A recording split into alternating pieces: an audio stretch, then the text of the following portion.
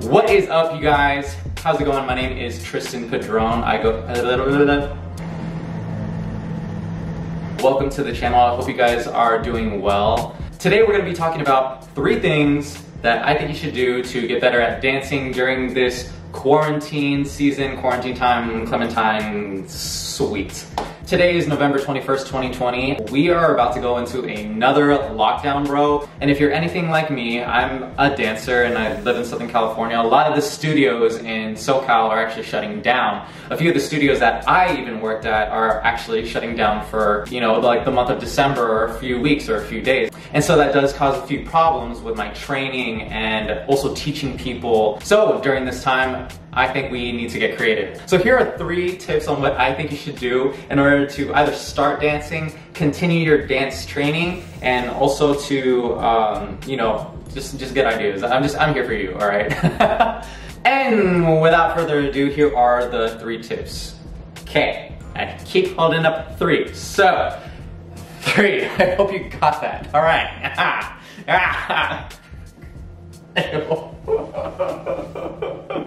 Alright, I'm getting used to this YouTube stuff, bro, okay.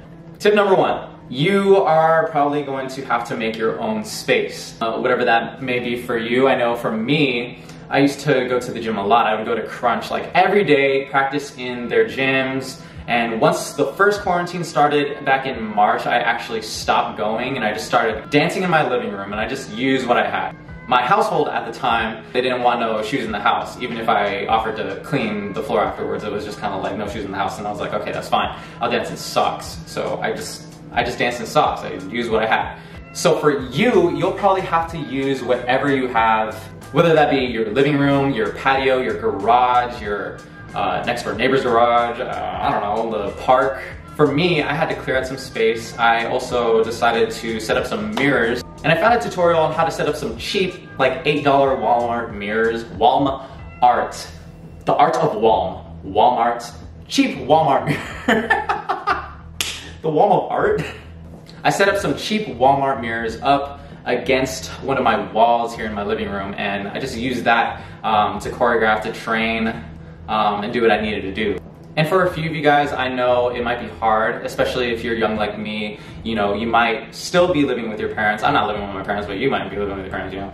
And let's say that like you're living in a two-story building and you can't dance upstairs. Your downstairs neighbors will not be happy if you are just dancing all the time, so that would suck for them. If possible, I think you should try your best to dance outside. For my girlfriend, she lives in a two-story building and she has to dance outside. She practices around noontime when people aren't going to be sleeping and will get mad if some dude or lady is trying to dance like upstairs and you hear go go go go go go. Maybe another scenario might be you know, I, it's it's hard, and I understand that maybe you and your parents, you know, your parents might not like dancing. At that point, I think go to a park and push yourself, even though people might see you and be like, oh shoot, it's that dude that's dancing again. Aha! You might have to go outside of your comfort zone and do what you have to do in order to get better. And you might have to dance outside in the public.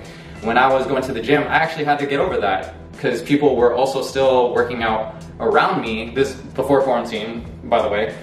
People were still working out around me and doing their thing while I was dancing and you know trying to get better. And uh, funny enough, like people actually did approach me about it and they're like, oh, who are you? Like, what kind of dancing is this? Like, that's cool. I want to, I want to know more about that.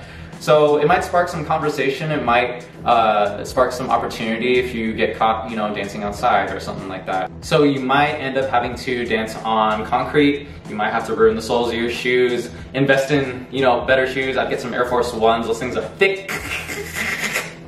Do what you have to do in order to continue doing what you love. We are done with tip number one. Here is tip number dose, baby. Tip number two is to take online classes. I know if you are so used to dancing in person, taking studio classes, switching over to all online, it can get a little tedious, discouraging, it's kind of lonely sometimes, but uh, trust me, tip number three will actually help with this, so just bear with me, right? There are a lot of options online to continue your dance training. My personal favorites are Steezy Studios and Building Block 360, and of course YouTube, of course. Course. But um, Steezy has a lot of options. I think they are well grounded in the online dance tutorial business, and I, there are a lot of classes that you can take from housing, uh, hip hop foundations, choreography, popping, locking, trendy dance moves. Uh, the, look, you get the idea, there's a lot, right? I believe it is a fee of $20 a month. I might be wrong, it might have changed, but, but believe me, I totally believe that this would be worth the price if you were to do it. Something I would recommend is, to save money is to share an account with your friends or a family member or you know maybe just ask your mom like hey I'm going to be a choreographer can you help me mom and you know borrow like $20 a month because you wash the dishes every day I don't know something like that. Another website that you can learn from is called Building Block 360. It is actually made by Keone Madrid, uh, Mari Madrid, who is his wife, and uh, Nia Pham. Uh, it's a it's a collaboration of a bunch of people, but it's mainly created by Keone Madrid. I recommend this one personally for myself at the top because it really emphasizes dance training, um, not only just information, but um, like education and in and like physical fitness too. For me, I am kind of a skinny guy. I don't know if you can tell. and so for me, I'm pretty frail and I can get injured sometimes, so I really love the different workouts that they uh, show me, that they recommend to me, and uh, just a lot of information that I can play with for my own personal training for fitness, dance, and also all the knowledge that applies to dance as well. And of course, I believe this is probably all of our favorites, is YouTube baby, free 99.99, my brother. Nice. Guys, there is so many tutorials that are out there for free, up for grabs for you to go ahead and just, just check out on YouTube. Look around, type in dance tutorials, you know, like Matt Steffanina has like free dance tutorials, like a channel. There's also, you know, people that do like TikTok dances, all sorts of stuff on, on YouTube. So just browse YouTube, type in dance, type in your favorite dancer. Another tool that you can use is you can even slow down videos so that you can catch on to the choreography and even teach yourself without them really having to teach you. Honestly, I love YouTube. You know what? I scratch that. YouTube is the best. YouTube's number one. And that's what I say. My last tip for you, tip number three, would be to get some accountability. What I mean is I want you to go up to your friends, your family members, your roommates, whatever your situation, your living situation might be. I want you to go up to them and be like, hey, I'm trying to get better at dancing. Why? Because I want to, I don't know. For me, my accountability is my dance team V3.